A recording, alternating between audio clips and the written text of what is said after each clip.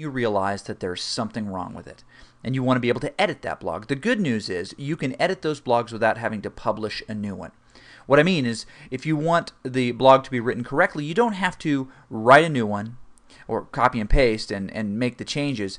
Publish the new blog, erase the old blog. You don't have to do any of those things. You can update it. And anybody who's got a feed to that's going to see the new one, not the old one. You said something mean about your professor for your EdTech 202 course, which of course you wouldn't do. Uh, and then you realize, oh, well, that wasn't very nice. Maybe I ought to take that out. Or you put in some spelling errors or some misinformation, you want to correct it, or you just want to add to it. It wasn't quite what you wanted, and uh, upon reading it, you, you realize that you want to make some changes. It's very simple to do. Once you're logged into your blog account, you can view that blog page at any time. Um, one of the fastest ways to get there, and I realize it's not as, uh, as intuitive as some other uh, ways of doing it, would be to come up here and click New Post. And when we click New Post, it takes us to uh, the, the menu where we can edit pages. So I click New Post. I'm already logged in here and you'll notice it's giving me the opportunity to write a new post, which is not really what I want to do.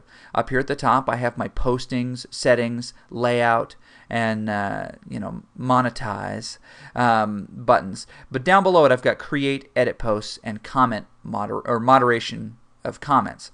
So I'm going to click edit posts, and it'll give me a list of all of the blogs I've written so far.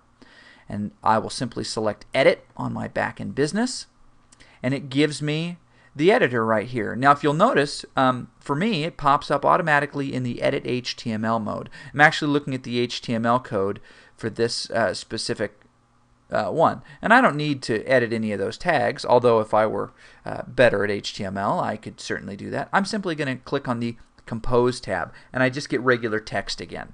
This is what it's going to look like almost to the um, to the to the reader. I can jump in here.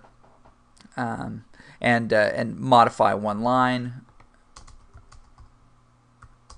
I am interested in your feedback.